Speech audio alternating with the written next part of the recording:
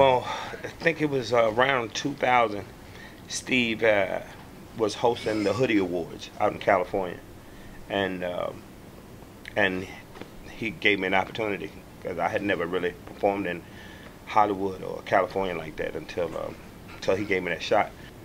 And we met, and we had a, a, mutual relationship from that point on. But it was a song that I had done on my first album called "Testing My Faith," and he said that song had impacted his life so much because it it was his life. But we have actually lost contact for over, I would say, about ten years, ten years or more.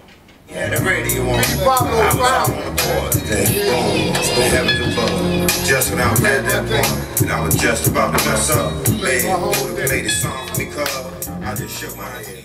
While I was gone, um, I heard people say all the time, and I still hear people say all the time, man, Steve was just talking about you on the radio, Steve. And I was like, you know what, I got to find this. I got to find a Uh, very good friend of mine, Maurice. He's actually family members with Judge Mathis. And uh, when he when he asked me if I wanted to go on the show, I was like, yeah, I want to go on the show. But I still didn't know that this connection was about to happen until we got here this morning. Once we got here this morning, he was like, you know, Steve filmed right across the hall from us. I was like, there's no way you're telling me that Steve Harvey films in this building. Man, and I stopped leading myself and allowed myself to be led by God, you know, and ever since then, my whole life has just been different. I've had a whole different outlook on life. I have out different outcomes of life by just listening to him. Like for no reason should I still be in Chicago. I'm here filming Empire.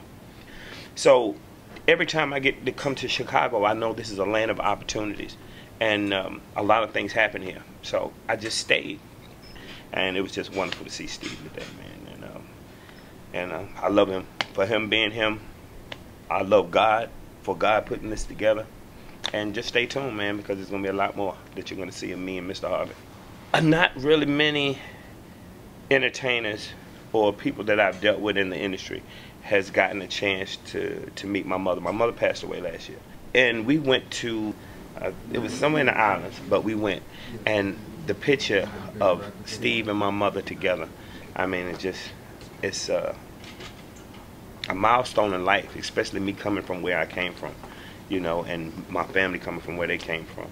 And to see them together, you know, and they had a great time. We all, I mean, it's, it's just some things that, you know, you can never replace. Like that picture will always be a picture that, a, a whole, a, a moment in, in time for me that uh, was like one of the greatest parts of, of the time me and my mom got a chance to spend it together before she left.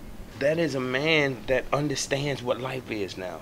And that's all he does. He doesn't he doesn't sugarcoat it. He doesn't dress it up. He doesn't, you know, try to tone it down. He tells you the way it is. He tells you the way it feels. And that's that's the the same person without him being my father or without he and I having the same DNA to have that much thought pattern that are so much alike it's like the right element and because i'm the same way you know we think we think alike like we both come from similar backgrounds and we get it.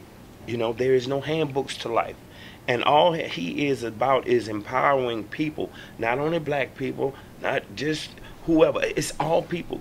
You know he he's a, a powerful influence and that is the footsteps that i try to follow in you know um, and I mean, he's just a prolific individual.